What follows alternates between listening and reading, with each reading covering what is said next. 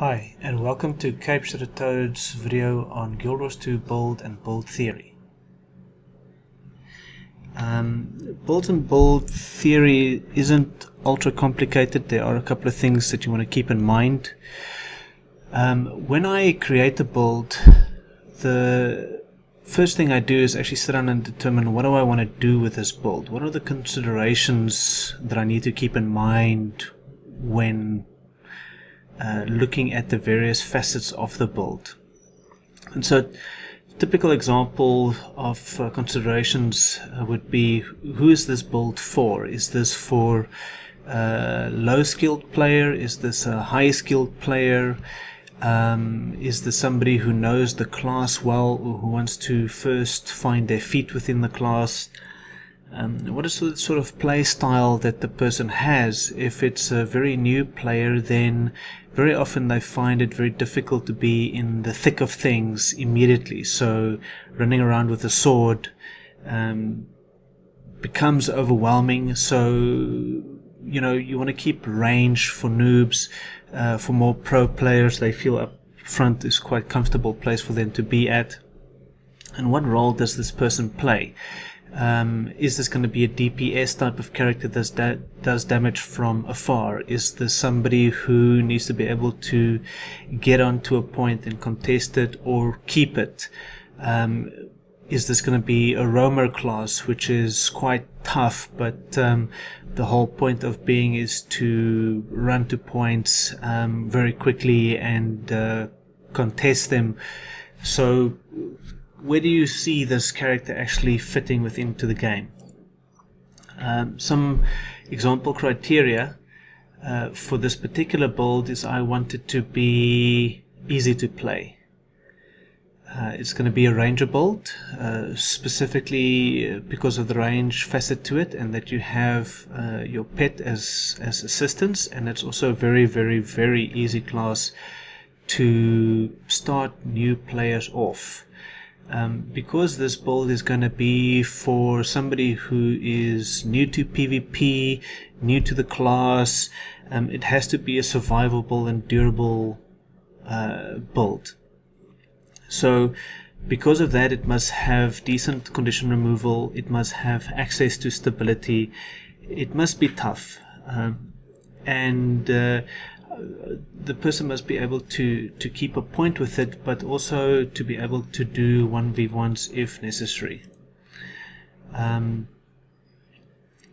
so, what are the steps that I use typically to define a build? Well, the first thing is to look at what skills do I need uh, for the type of gameplay and the characteristics that I'm aiming for.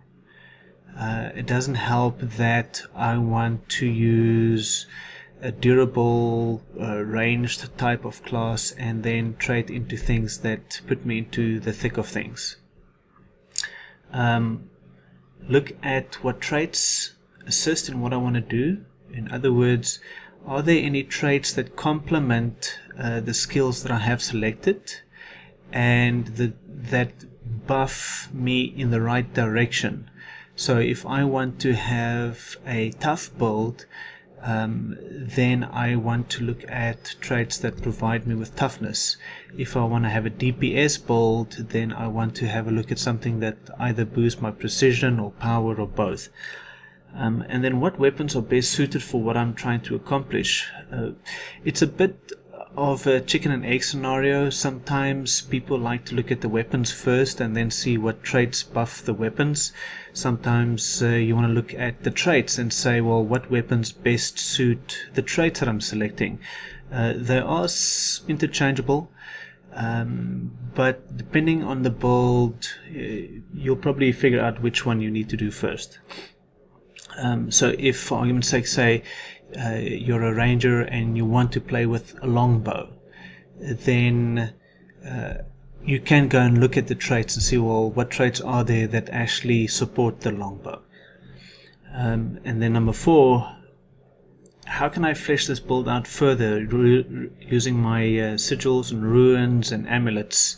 Um, the sigils and runes and amulets for me is sort of the not so much the sigils, but but the runes and the amulets are, are the things that help me fill out the character to to alleviate any weaknesses that I might have, um, or to buff existing uh, traits uh, to be even more effective. So if I want to have a very, very tough character and I've already traded into toughness, I can still use um, runes and amulets to either make it tougher uh, or if I find that I'm not doing enough damage uh, because I'm now too tough um, but but my power is too low then I can uh, give myself a little bit of power through runes and amulets the sigils, of course, is uh, weapon specific, so depending on what weapons you want to use, you'll have to choose uh, where to go with that. Um, and so for this particular build, uh, this is a ranger build, I decided to go with a Signet Heavy build. Um, the reason for that is not so much for the for the active part of this of the sigils, or signets, um, although they are very, very useful and, and definitely come into play uh, sometimes. The, the passive and the active combined gives me uh, a lot of condition removal, health regeneration, toughness, stability, and invulnerability. But most important to that is it actually is really simple to play because the passive part of it is so strong. Um, if you're a new player and you don't want to get overwhelmed, um, having that periodic condition removal um, is very nice. Having that uh, periodic health regeneration without having to do anything is also really nice. Um, and uh, toughness, just just bump, bumping your toughness up as a as a static effect is is really cool. Um, and um, then if you do get in a pinch um, and as you get to learn the build a little bit more uh, you can start uh, using things like the invulnerability on your stone signet and um, little by little start engaging those those skills a little bit more but since this is particularly for a noob, um, having those passive effects off of the with the sigils, uh, it just makes it for a lot simple gameplay and still get a lot of benefit out of it. Um, the traits that I'm going to select for this particular build um, is a 00644 and um, let's have a look at what those actually do. Okay, so uh, we looked at the basics, the, the, the, fundamentals of some of the considerations for the bolts. Um, one of the things that I do first is to actually go to the Guild Wars Wiki website, as you can see here, um, and go to the list of traits for a particular class. And the reason why I do that is it's a little bit better than actually going into the game uh, for several reasons. The the first reason is, is that you actually get a nice description with links that tell you exactly what these things do. So when I look at the first line, I can see that marksmanship trait is for rangers focusing on long range damage um, and also for signets. Now, since we're using signets, um, that's intriguing. So we can say, okay, well, what do we get out of this? So we can see uh, under the adept line, Signet Mastery reduces the recharge of signets. Um, there's one problem though in that this buffs our power uh, and this is not where I want to start. Where I actually want to start with the particular build is from the toughness side because the main feature of this build is uh, to have durability but also have damage. Uh, I want to have a look at the toughness and I see, okay, well, wilderness survival is going to give me toughness and it's also going to give me condition damage. So this already starts to create a little bit of a problem for me um, in the sense that marksmanship goes into power but um, it also gives me condition duration. So if I'm going to do condition damage and the deeper I go into toughness, it might make sense to actually get a bit of condition duration as well. But uh, let's first have a look at this and then see uh, what do I actually get from these various things. Um, so marksmanship is for, for range and for signets. The skirmish um, is a trait that focuses on mobility and traps and switching between weapons and combat. Now, I'm not looking at uh, at having any precision or, uh, or ferocity. Uh, I'm not going to use any traps, so I can skip that one for now.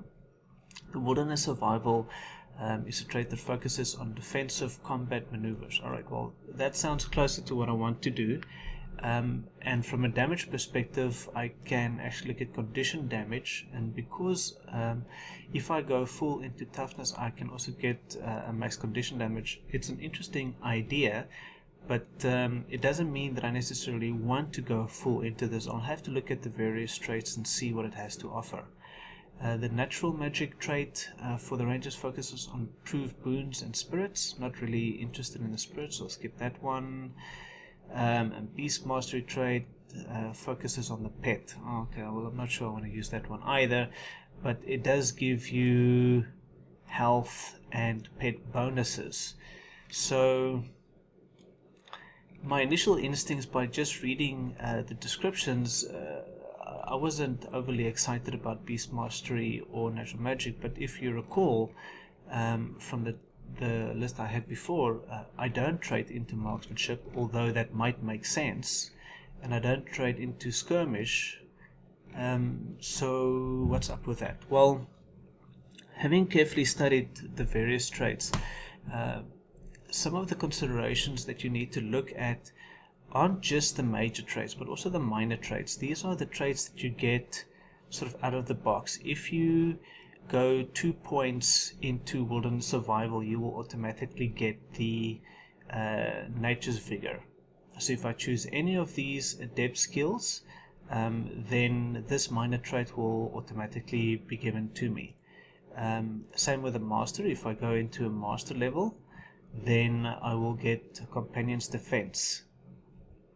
And if you look at this, you and your pet gain protection when you dodge roll. Well, that sounds quite interesting. Um, and you can see there's a link. Um, and you can open the link up and go and have a look look at the the finer details um, if you're interested. So let's have a look. See, okay, well, it's two seconds of protection when I dodge. So if I dodge and I dodge again, will I get four seconds of protection? Maybe. Um, normally it'll tell you what is sort of the cooldown on this. Uh, it doesn't seem like there is any cooldown.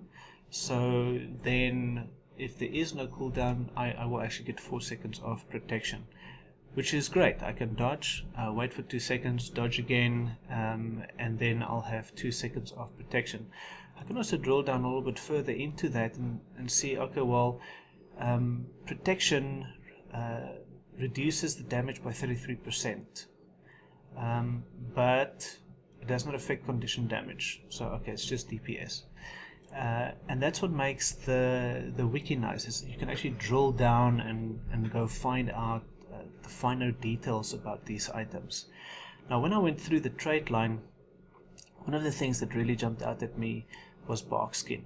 Um, because I want to, to have a, a build that's pretty tough um, and uh, must be able to stand on its own, bark skin intrigued me because you and your pet take less damage while your health is um, below a certain threshold.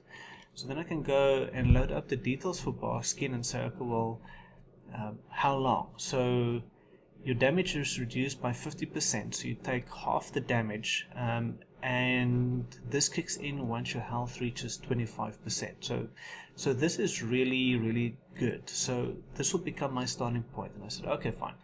Um, bark skin for me is going to be a must-have uh, because it's going to gain me that, which means I'm going to go full into wilderness survival because I'm going to get uh, the additional toughness as well but it's going to bump up my condition damage. Um, now why that's important is that when I actually do my weapon selection, uh, this will actually affect that. Um, it'll also affect things like what runes do I want to use. Um, But having looked at that, um, now I need to see, okay, well, I'm going to go into the Grandmaster line. What of these other items are interesting for my build? Um, and I decided for number three, which is Shared Anguish. Um, and this has a 90 second cooldown, which seems actually quite long. And this is a consideration that you need to have because this means you will only have this ability to available um, every 90 seconds. But for every 90 seconds, whenever you are stunned, dazed, knockback, feared, etc., etc., um, that is transferred to your pet. So that means if I'm fighting someone uh, like a hammer warrior, his first blow will actually then go to the pet and um, provide me with the ability to to pop any of my skills that will give me stability and we'll have a look at that a little bit more detail when we actually look at the, the build in the game. So I know that I want to use Shared Anguish here, I know that I want to use Bark Skin, um, and then one of the items that, that also sort of jumped out to me was this one here, whereby for every 15 seconds I gain regeneration when I suffer from bleeding, poisoning or burning, which means as soon as I start fighting someone that puts bleeding, burning or poisoning on me, I get a bit of health regeneration. Okay, and this has a, a 15 second cooldown. The question is, um, how much healing is it going to give me? Because if it's only going to heal me for a small amount, um, then it might not be worth my while. And as you can see my internet's quite slow today so we'll just leave that to load up a bit. Um, and while we're waiting for that to load uh, let's have a look at the other items so uh, as I explained before natural and beast mastery wasn't initially a major hit for me when I looked at the descriptions but when I actually looked at the, what I get when I uh, go into more depth here is that I get vitality and here I get healing. Now, both of these items are quite important for me because I want to have a little bit more health and I want to be able to heal quite a bit more. So then I can start looking through these items and say, okay, well, what what actually looks like it could make sense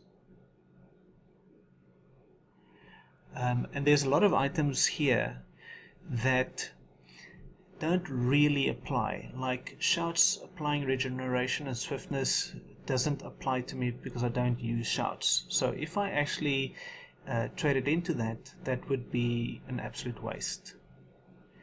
Um,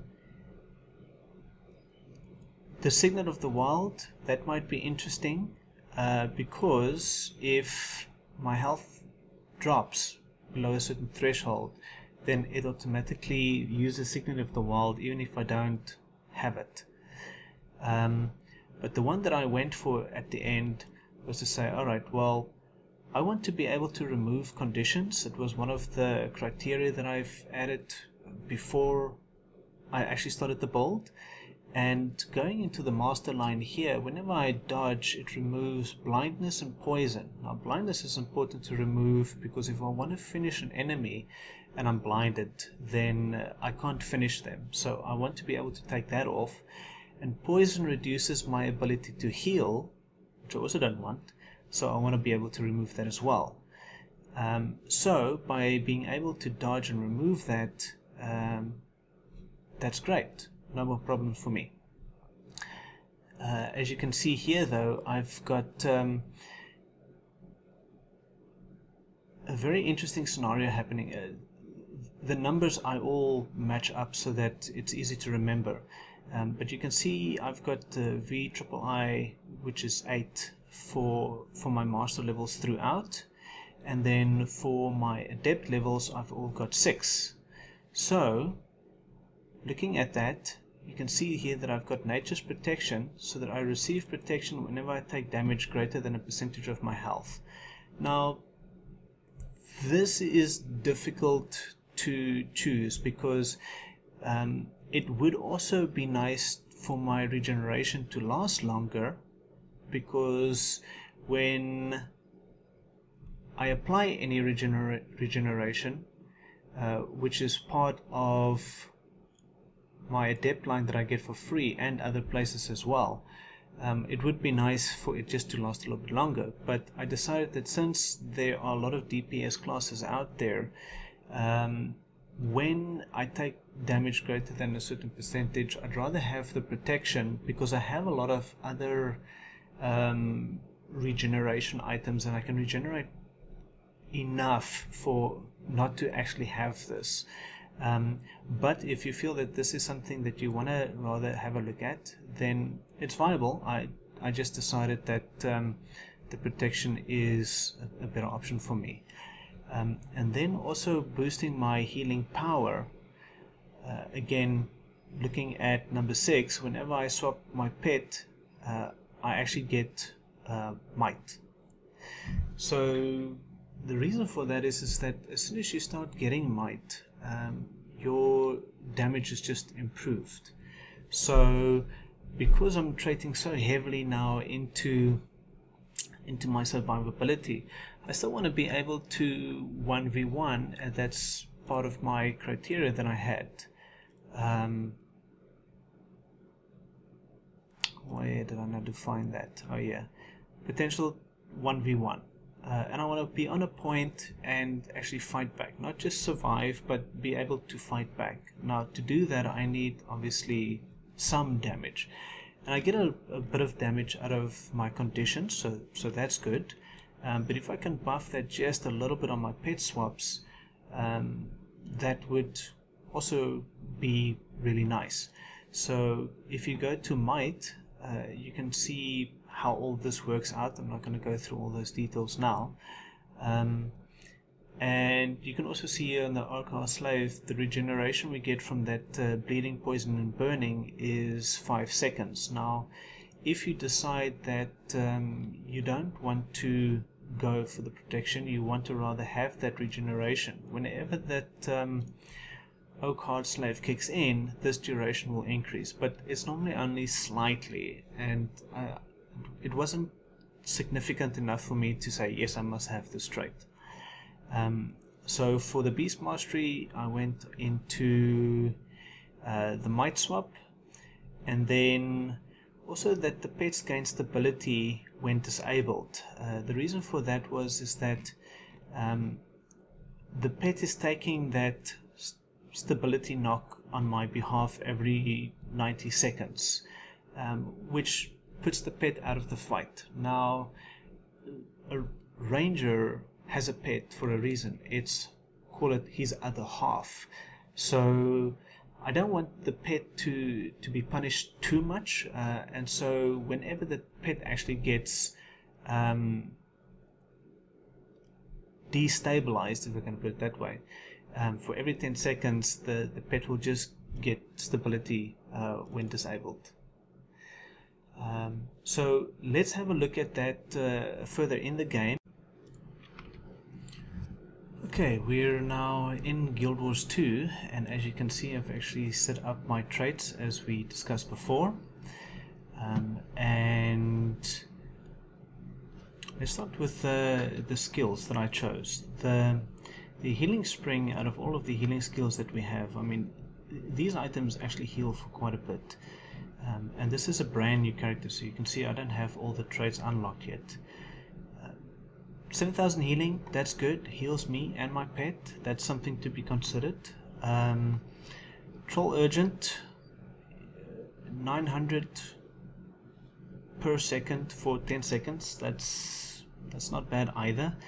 Um, but I went with Healing Spring, and the reason why I went with Healing Spring is that it also cures conditions on allies. So I get that 5000 healing, I get another 4200 regeneration from it, but it also does um, condition removal and it also creates a water combo field. So if you start using combo finishers with your teammates, uh, as soon as you actually put down the water field um, and they use blast finishes on it, you can also get regeneration. Then I said that we're going to run a Signet Heavy, and here we can see the details on those. Um, the Signet of Renewal cures a condition every 10 seconds. So if I do nothing, all these passive effects happen. So every 10 seconds a condition is removed from me, I don't have to do anything. If I do get in a pinch though, and if I start getting a feel for the build, then I can activate the signet and then it will pull all the conditions from me to my pet and you can also see that it's a stun breaker which is always fantastic to have. And the signet of the wild gives uh, health regeneration for me and for my pet and then it also gives me stability if I actually activate it. Um, it enlarges the character for 8 seconds and you do 25% more damage. So that's that's a nice active but the thing that we're really after is the passive effect which is that health regeneration. And then the signet of stone improves our toughness. Because we want a tough build uh, by doing nothing else we get that uh, toughness. And if we do get in a pinch we can activate the signet. And then for six seconds we take no incoming damage uh, and that's really good to survive because if I uh, use the signet and I put down the healing spring I can actually get way full back into health again. Um, now when it comes to my elite skills uh, one of the items that could make sense to use is entangled because I actually do do condition damage um, and uh, it immobilizes the foes. It's available every minute. Um, but the one that I decided to rather go with is Rampage as One. Um, and the reason for that is that 24 seconds of stability. Um, it's just fantastic to have, uh, especially when you're fighting against uh, hammer warriors or something like that. Uh, they can't knock you about, and they actually become very easy to kill then. Um, because the whole ace in the in the card gets lost. What you also then get is a 20% uh, critical chance. So so that's really nice. Um, so when we now look at this, uh, we can see uh, our items that we've added. We've reached, now looked at the wiki and uh, added to the game. But that sort of limits what I can use for weapons because these are my my strongest line currently is is the conditions. If I used say uh, just a normal great sword, then I wouldn't get much out of this condition damage that I'm adding here. If I used a longbow, it doesn't do any condition damage either. So to really utilize going so deep in wilderness survival, it, it makes more sense to add condition based weapons. So when we look at the weapons that I've selected, I've obviously got a short bow and then an axe and a torch. And the reason why I've got the axe and the torch is just from a distance perspective. Um, I don't want to get the person up into the skirmishes yet. Still want to keep their distance a little bit. Um, and as you can see, the axe number one doesn't actually do that much from a condition perspective. It really is the axe number two um, that adds those three stacks of bleeding, which is what we're after. Um, that and the fact that we also can get chilling, so we can effectively chill someone. Now I can also use a dagger as a secondary that'll do conditions, but I went for the torch because the burning is actually quite delicious on this build. It, it does a good amount of burning damage um, and I can actually keep my distance uh, from people to do that. I can also use the burning as a, a combo field. So in this case I'm just going to put it right on top of the golem and you can see there I'm ticking off nicely. Um, but I can also add it uh, on me and throw my axes through it and those axes will actually be lit up and go do damage as well. Um, let's just uh, quickly have a look at sorry the equipment that I've chosen. So we've established that we are going to use a short bow, the axe and the torch. If you feel comfortable uh, later on, you can swap this to a sword and then get um, some uh, references out of the the uh, sword number two skill, which will evade uh, and do poisoning. Um, but uh, let's have a look quickly at the sigils because the sigils is what's going to buff my weaponry. So for the short bow, I used the sigil of agony because I can do a bit of uh, bleeding if I hit from the side or from behind. Uh, I can actually stack up the bleeding quite nicely. So I want to increase the duration of those bleeds. Uh, before we go back to the other items, I just want to show that um, there are a number of, of bleeds on this. So if I use the number 4 skill on my short bow, I can also get bleeding going. And um,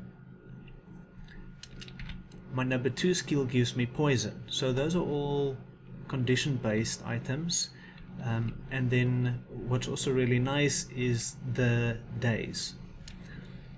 Right, let's go back. So I've got the, the increased bleeding because I do bleeds, but I also do poison. So I want to increase the duration of my poisons as well.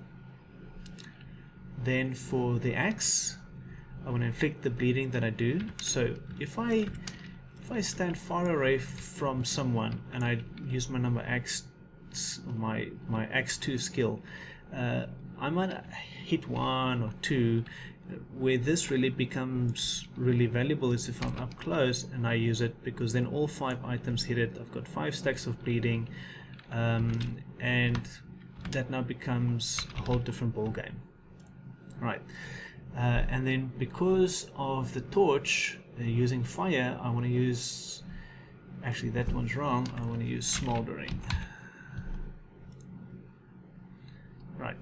So what smoldering is going to give me is just increased burning duration because I do such nice burning damage uh, to extend the duration of that uh, is exactly what I want. Um, and then from uh, runes perspective, it's kind of difficult to to go through the entire list of runes and say, oh, crikey, which one is now actually going to work best for me? Um, you can type into the search box and it will give you runes that um, have something to do with condition as an example. Or you can say give me something that that deals uh, with toughness. And so you can actually shorten the list to go through. Uh, I went with the Rune of the Undead because it gives me uh, extra condition damage, which means I can do more condition damage, and it also buffs my toughness. Which so this is like uh, trading into wilderness again. You know, it just buffs my toughness, buffs my condition, um, and it fits perfectly into the build. Now, when it comes to the amulets, there are a number of choices that I can make. Uh, rabid would be one. Uh, so here are all the items that do condition damage. Uh, and you, uh, you must decide uh, where do you feel is your weakness. If you want to do uh, a lot more condition damage, um, but buff your vitality just a bit and get a bit more power out of it, which would then help the axes. Um, you could use the Carrion. Um, this one is all over the show, so I'm just going to ignore that. Um, the Rabid is a, a, really good one because it gains toughness uh, plus a, a, lot of extra condition damage. Um, so if I actually use Rabid, you'll see my, my crit chance goes up to 35%. Um, so that's an option. I decided to uh, settle on the Settler Amulet uh, because of that uh, 900 toughness that I get and I get extra healing power and I get condition damage. So I'm I'm trading a little bit more into my toughness when I actually feel comfortable with the build and I see all right well you know I'm I'm doing well my rotations are working well I get an idea of what I need to do then I can start playing around with saying okay well maybe I can do more damage now with this because um, if I look now at my burning here it, it becomes reasonably insane.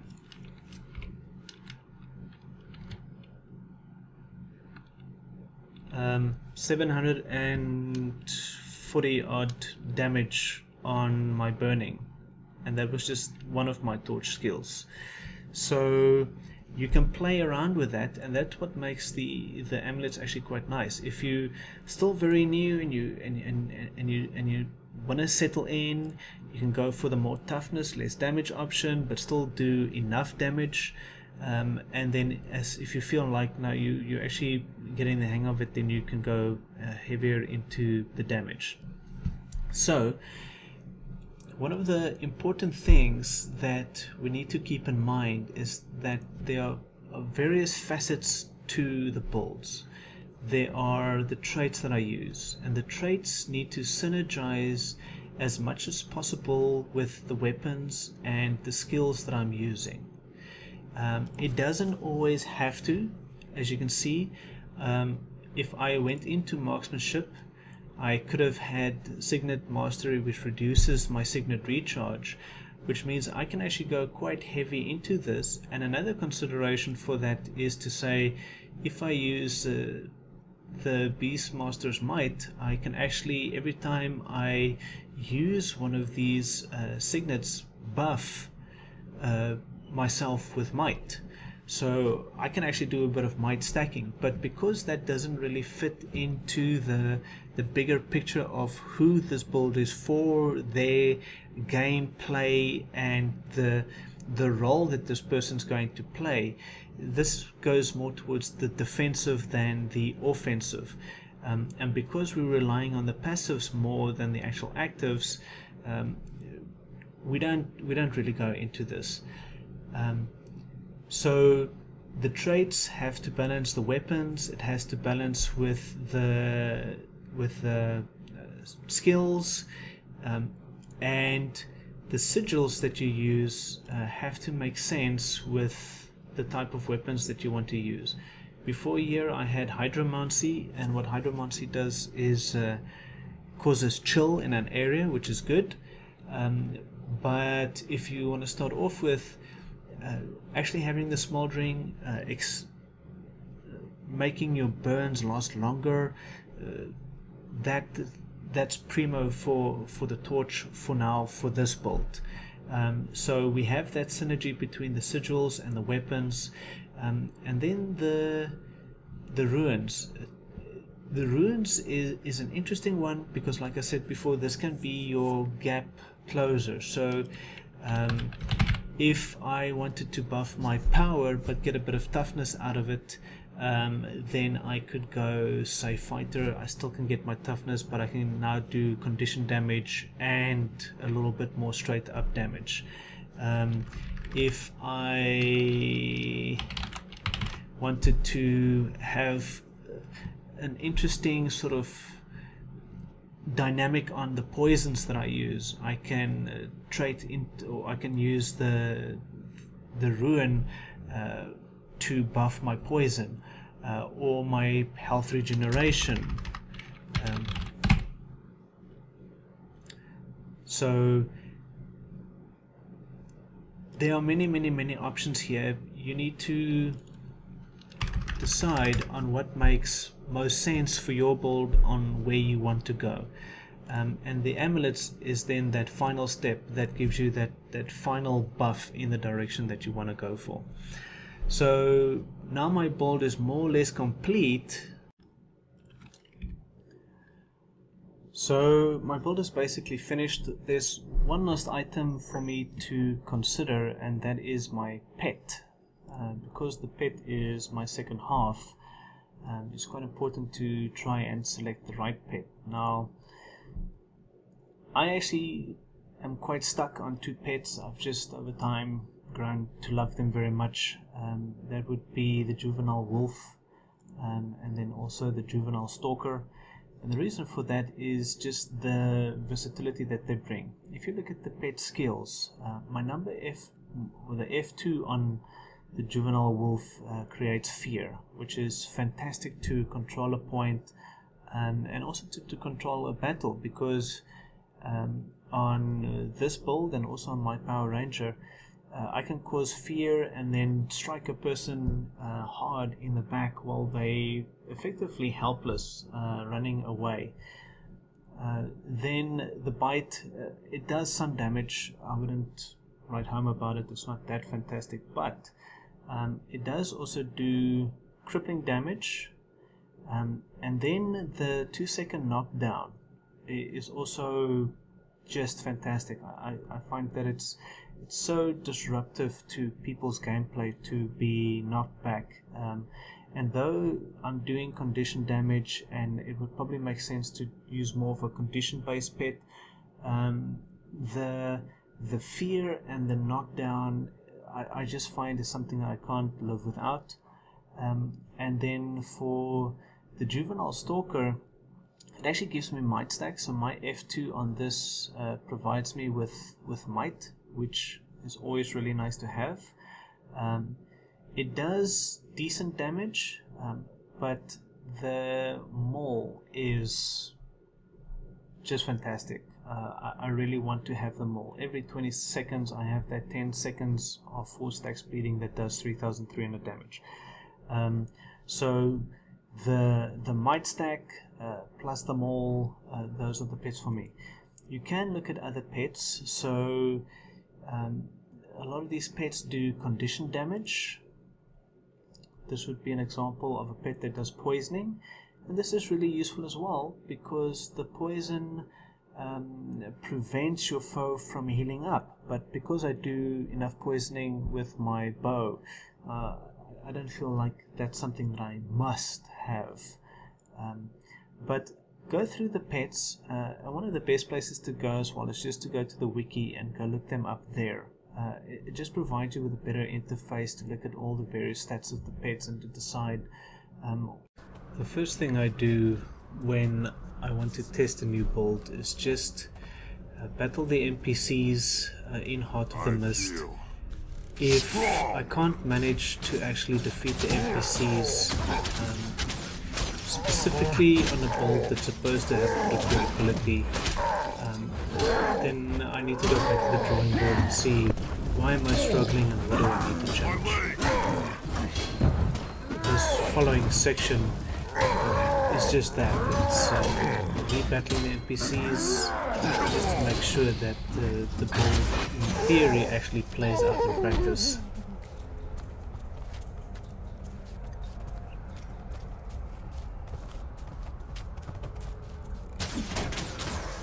Just waiting for the elite to actually wear off, so just playing around with the golem in the meantime. And um, now I'm gonna take on Swan here.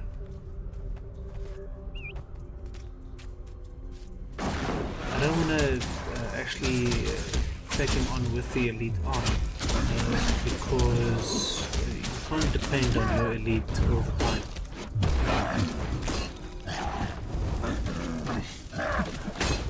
I feel strong.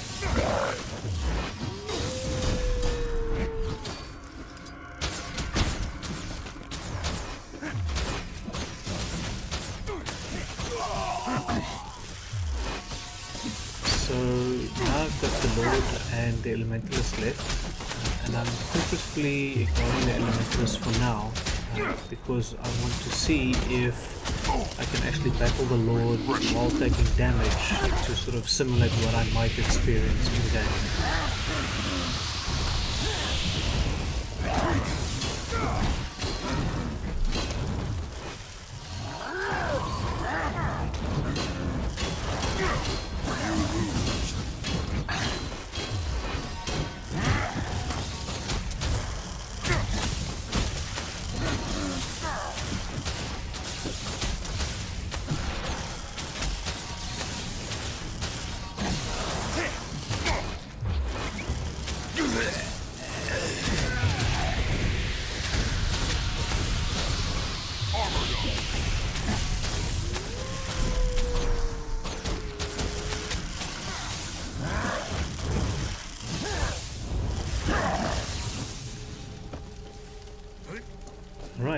So that's the NPC done.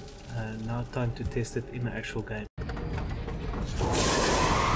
Feel the fires of Balthazar! Hold on to your points. Seize theirs.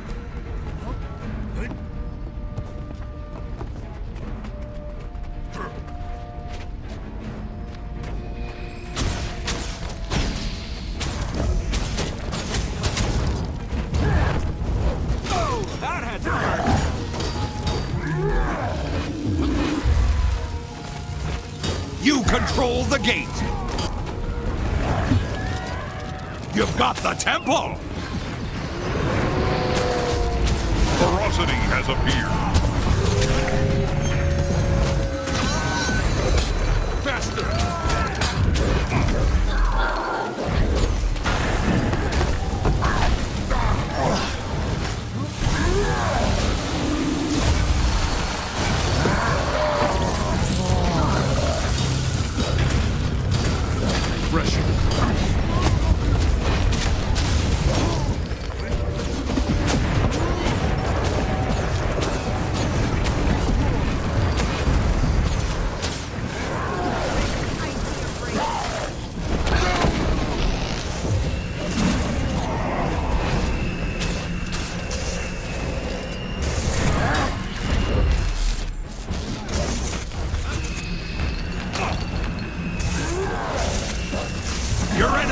the temple now.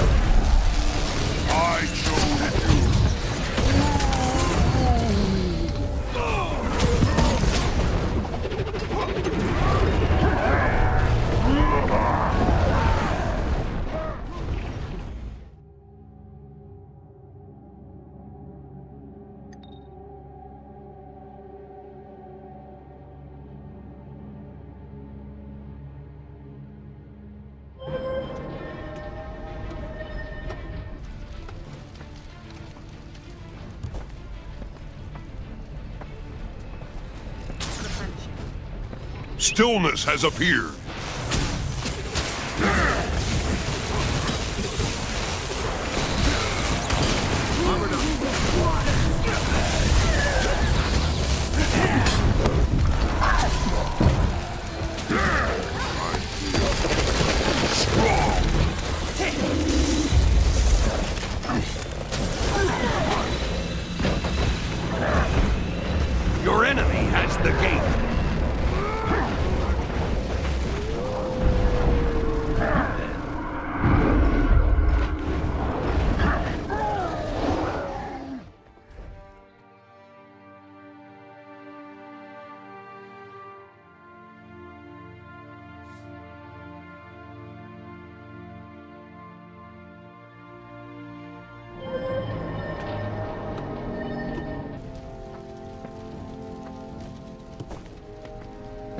Ferocity has appeared.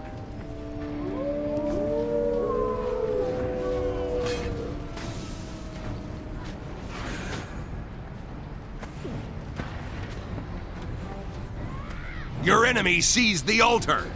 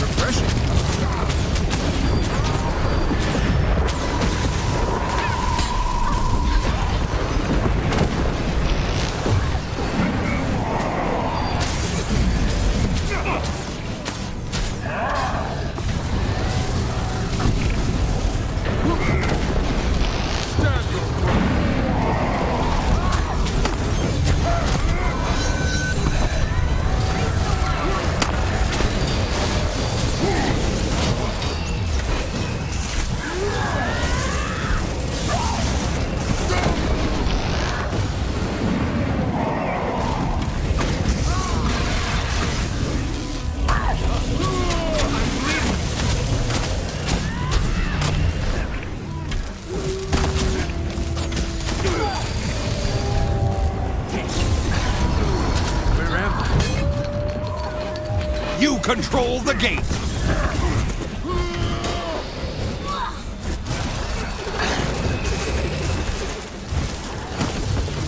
Tranquility has appeared.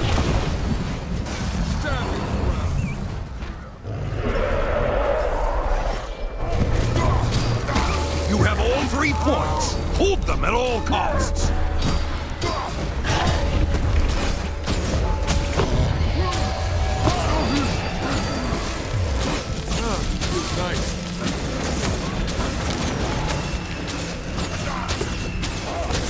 Your enemy has the temple now.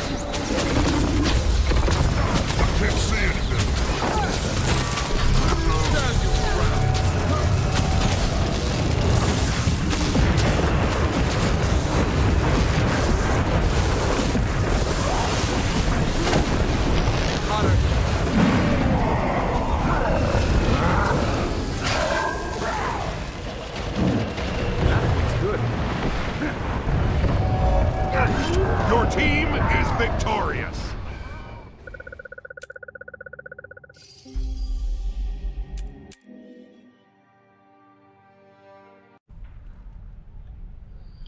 Thank you for watching my PvP uh, build theory uh, video. I hope that it helps a little bit to make sense out of all of these things.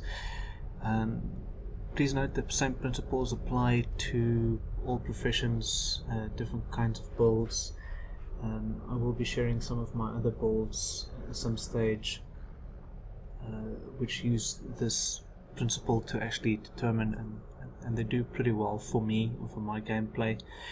Uh, please note though that um, there are no silver bullet builds. Each build has a weakness somewhere. Um, this particular build seems to be still a little bit vulnerable to massive condition damage, but it does well enough um, to to say okay it's a fairly good build for new players to to uh, get to know the class. It's not overcomplicated um, and the gameplay dynamics is is reasonably simple. So it reaches the objectives that it had as a build um, and as long as your build reaches the objectives that you set forth um, in my books that's that's a good build. Uh, it does what it needs to do that's all it needs to do. Um, so thank you very much for watching